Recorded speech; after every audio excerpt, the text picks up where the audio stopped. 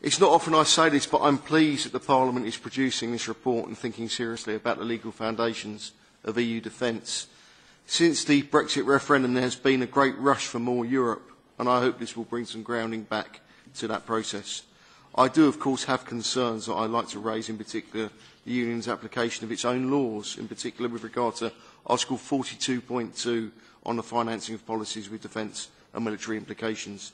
Operating expenditure to which the implementation of this chapter gives rise shall also be charged to the Union budget, except for such expenditure arising from operations having military or defence implications, and cases where the Council acting unanimously decides otherwise. Well, that speaks for itself.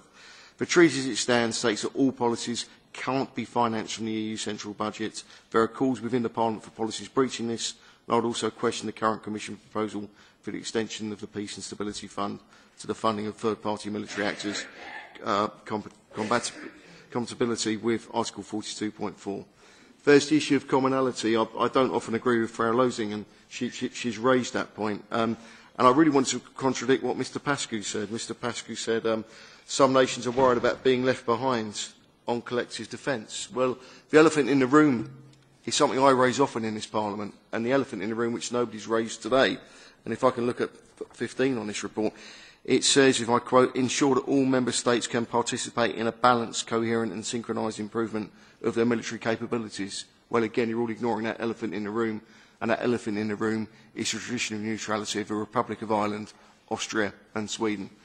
And this is a problem you have coming in the future. You have to, you have to accept that is the way it's going.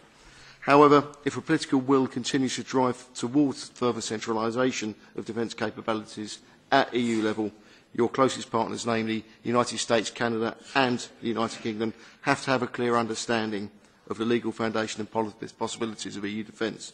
I therefore urge you to think more carefully as you all progress with these policies. I am also concerned by Article 14. The European Union talks a lot about cooperation with NATO and complementary capabilities. Again, it's unfortunate policy. My own government seems to be talking even after Brexit. I see it as undermining NATO The 2% spending, defence spending is a commitment to NATO and transatlantic security throughout that alliance. Most European members don't even meet these commitments, and of course it's only through, I must say, through accounting trickery that my own country manages to do so. The 2% should remain available to NATO directly from its members, and again, whilst I don't, don't approve of European Union strategic cooperative programmes, they should be financed by money above, beyond and separate to that 2% NATO minimum. Thank you. Thank you.